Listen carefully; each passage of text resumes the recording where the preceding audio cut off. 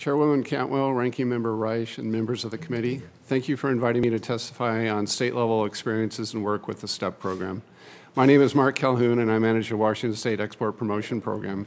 I also serve on the State International De Development Organization Board, SIDO. States play a key role in helping small businesses start or expand their international sales.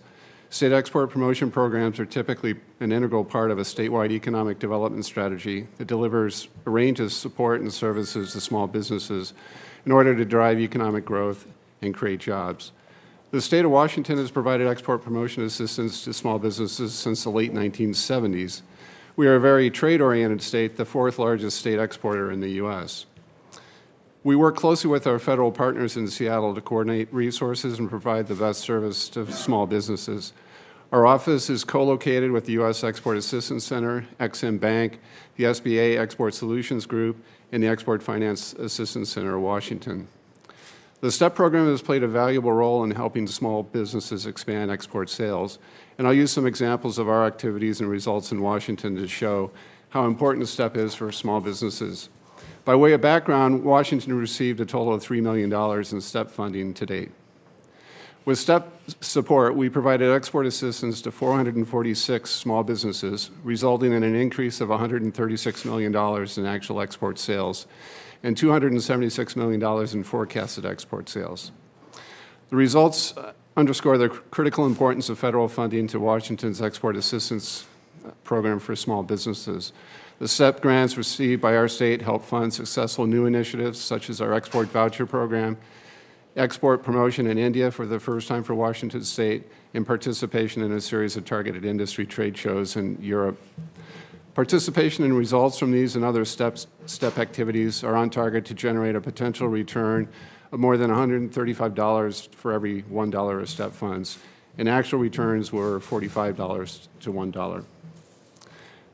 HasOffers, which Senator Cantwell mentioned, uh, is a great technology early stage company in Seattle uh, that tracks the effectiveness of e-advertising campaigns. And I wanted to give just a quick update on their export activities as a result of STEP.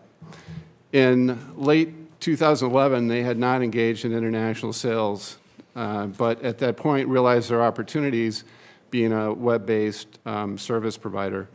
They came to us to um, talk about how they could get into the Europe market, and we gave them an export voucher, which enabled them to go to a key trade show in Barcelona called Mobile World Congress and join a group of other Washington State technology companies in attendance in February of 2012. That resulted in uh, first-time export sales for the company, which now represent 40% of their overall business and allowed them to grow from 50 employees in early 2012 to 190 employees today. As Congress considers the reauthorization of the STEP program, I'd like to add my support to some key recommendations from SIDO. Firstly, that STEP should become a permanent federal program. Second, to ensure collaboration, there should be a member of the state promotion agencies on the Trade Promotion Coordination Committee it will be nearly impossible to develop a coordinated state-federal plan without a seat at the table. Thirdly, we need to develop a working group to coordinate information sharing and report metrics to make sure Congress receives information it needs in a timely manner. Return on investment is a priority for states. We'd like to ensure that the federal share of funding in the STEP program stays at 75 percent. And lastly, we'd like to encourage that you make STEP reauthorization and agency coordination a priority in the current trade agenda.